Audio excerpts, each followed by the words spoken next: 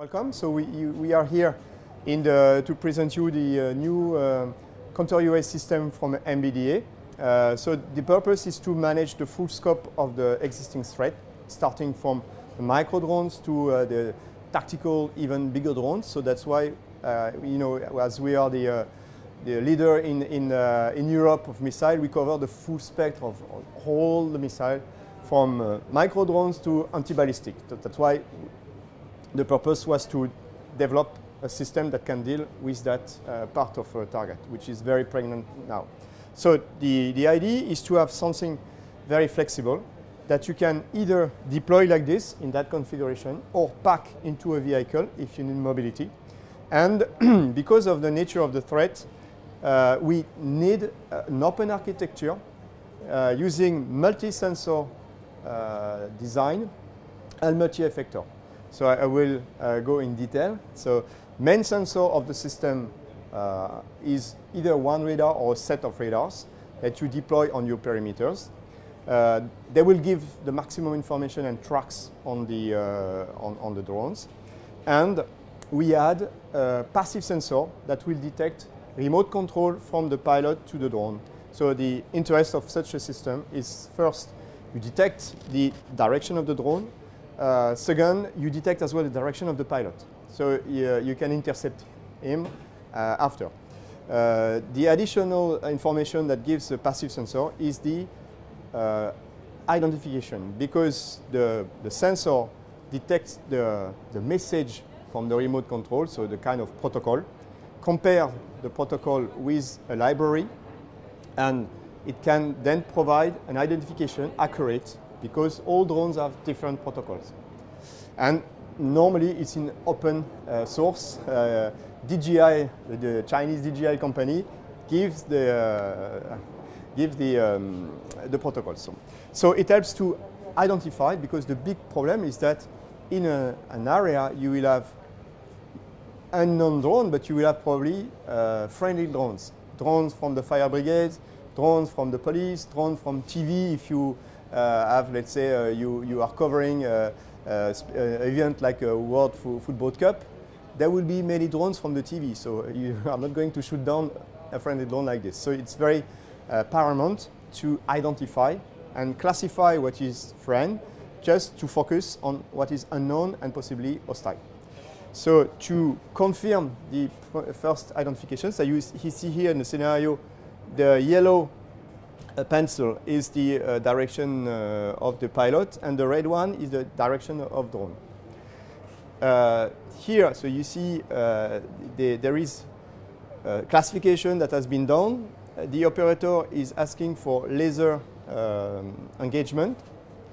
Uh, so the, the turret will be automatically slewed on the direction of the, of the drone. And then uh, it, the, the operator using the turret will, be, will have the control to perform the engagement. So the system is using several solutions of engagement. You see those lines there.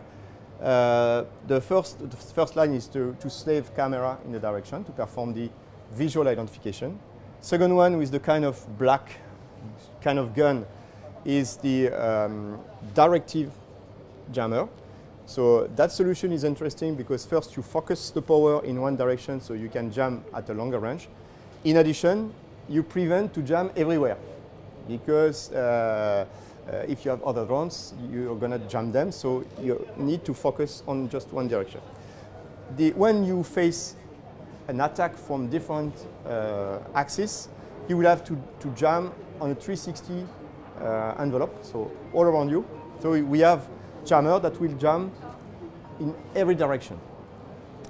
Uh, if jamming is not effective and insufficient, we have uh, uh, we are using a kind of suicide drone, a small drone that is flying very fast, uh, something around 200 kilometers per hour, uh, that will smash the drone just by speed and by kinetic uh, effect.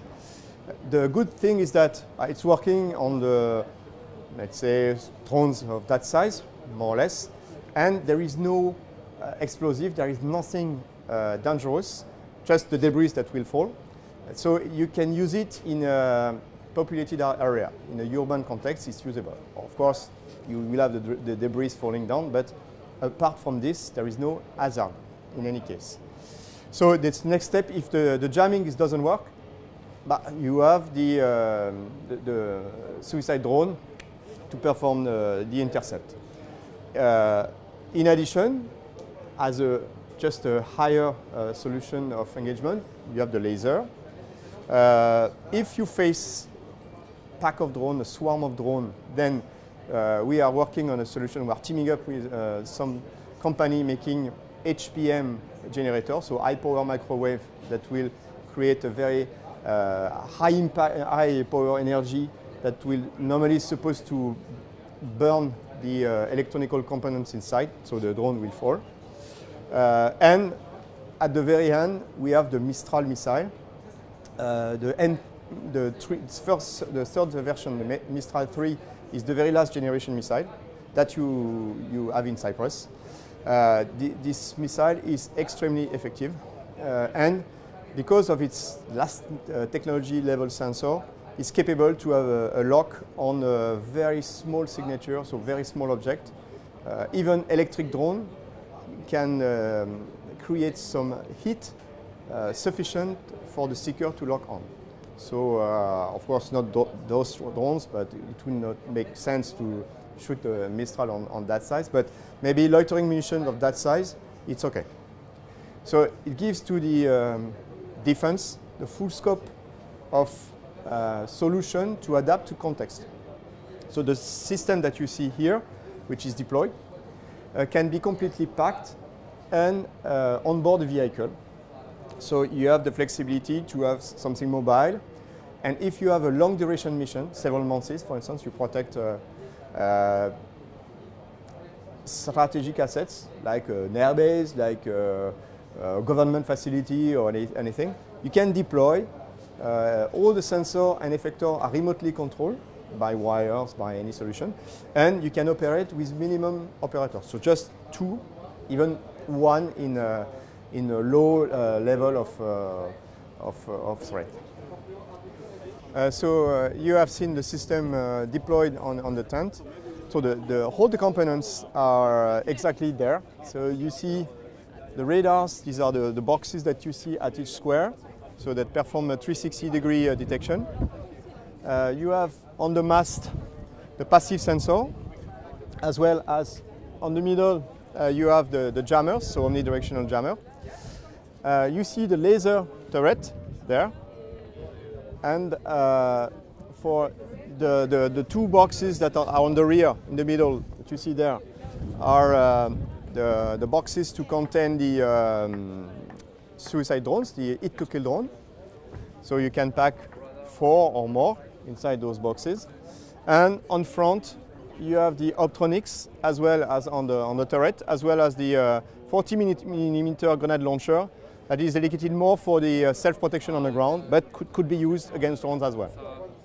So all the, the vehicle is completely autonomous, but uh, you have a, the command and control, the Licorne command and control there, that can control the uh, Atlas vehicle uh, with a four, turret, uh, four missile turret launcher. And the laptops that you have seen inside the tent are exactly there. So you can see this one is the uh, tactical situation management. On the other seat, you have the effector management. On the front seat, you have the turret management. And you can deploy several vehicles on, the, uh, on an area. They will connect together in order to exchange situation. You can connect as well uh, Mistral vehicles to have the full bubble from the uh, jamming to Mistral 3 uh, effectors. Thus, uh, the, the, the, uh, the, C2, so the, the Licorne C2 can even be connected to a, a from a larger system, so from a VL MICA or VL MICA new generation system, uh, in order to provide a, a multi-layer bubble to protect uh, a large, larger area. So, so we have seen the, the command and control uh, inside the tent. So you see here the different sensors for real. So we, we have tested several. Uh, this one uh, is, is, using an AESA technology. So you, the detection uh, coverage is around 80 degrees on, on, on azimuth. So you see here, so to cover 360 degrees, you need four antennas like this. This is exactly the same that uh, are deployed or mounted on the, um, on the vehicle there. Uh, you see on the feet there just uh, below is the passive sensor detector. So there are several type. Uh, it's, uh, this one is the same as you have on the vehicle, but all the antennas has been packed in a group of, uh, of uh, this, like this. Uh, so it, this solution is more uh, tailored for use on vehicle. Uh, and you see on the roof of the building, camera, which is on, on, the, on the left, so the, that is remotely operated from the command and control. And you see the jammer, so the directive jammer here, which is on the right uh, with the, that kind of uh, black gun that is remotely controlled uh, from the, the inside with the command and control. On the left here, you see our uh, Hit to Kill drone. So you see it. It's uh, made by a small uh, company uh, in France and we are teaming up with them. Uh, and we take care about the guidance system. So they are packed in, in that kind of container. So you see, this is the launcher and the, container. So you see, this is like a mini missile you have, uh, uh, so uh, it's, fly very, it's flying very fast and that will impact the, the target. And with kinetic energy, you destroy the, uh, the target just by speed. So you have a data link between the launcher system and the drone, and you have a sensor here that will lock on the target at, after a mid-course phase. So we can pack several uh, in the container like this. So you open the box and uh, they, are, they are flying like this. And the last system is our Mistral 3 missile. Uh, you have the tablets from the, the chief of the launching uh, team.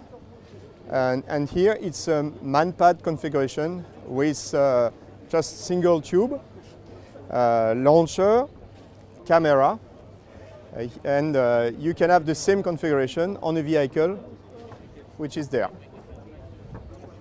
So to, to end with the Mistral system, here is the, the top level uh, of the capability. It's our new launcher. Uh, so it's, it's, called Atlas RC. RC stands for remote control. So you have seen the tripod, which is uh, man operated. Here you have a turret with four Mistral and completely operated from the inside of the truck. Uh, and the, you see the big antenna, the, the launcher is connected to the command and control that will give the target designation. So uh, everything is centralized and uh, the, the Licorne system can manage several launchers, so depending on the configuration, but it, it can be up to 12 uh, launcher. So after target designation, so the, the, the launching operator is on the front and manage the, uh, the turret uh, working. So after it's the same missile. Uh, you, you can, uh, so you have a camera, night and day camera that perform identification and the tracking before locking the, uh, the seeker of the missile.